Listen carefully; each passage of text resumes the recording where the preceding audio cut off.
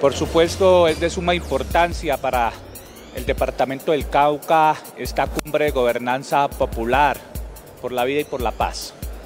Para nosotros, nuestro principal reto en los territorios es la tranquilidad, la seguridad, la convivencia.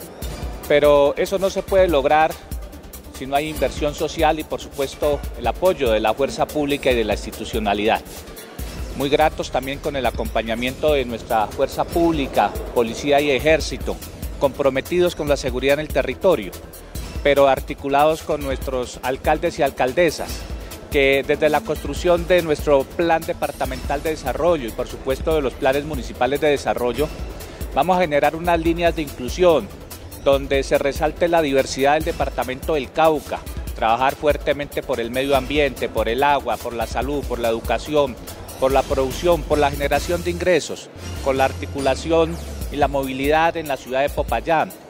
Esto nos va a permitir, entre todos los líderes del departamento del Cauca, construir esa hoja de ruta que será la inversión en nuestros territorios por los próximos cuatro años.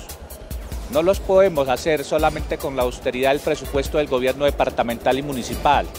Por eso hemos tenido también esa gran ese gran acompañamiento y compromiso del gobierno nacional.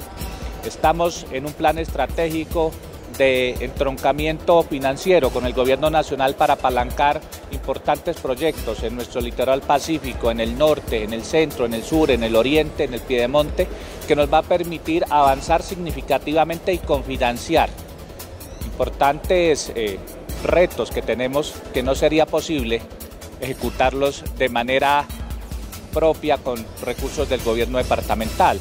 Hemos sentido el acompañamiento de las instituciones, de los ministerios y del gobierno nacional.